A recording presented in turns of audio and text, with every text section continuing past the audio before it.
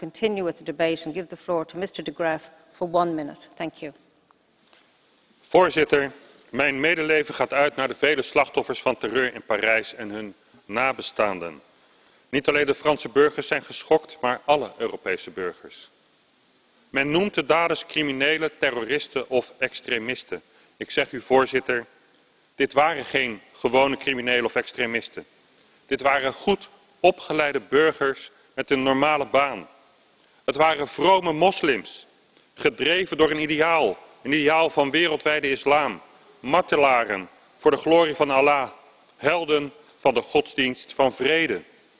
Zo worden ze gezien in eigen kring en zo worden ze gezien door het grootste deel van de moslims in de wereld.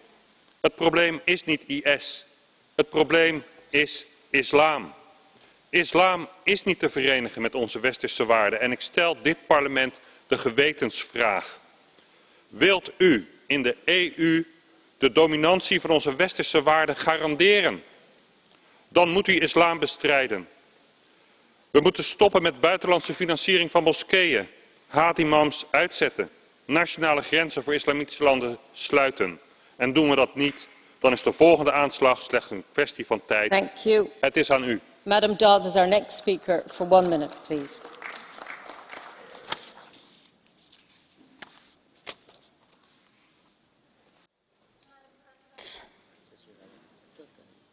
Sorry. Madam President, the recent attacks in Paris serve as a brutal reminder of the dangers from terrorism right in the heart of Europe.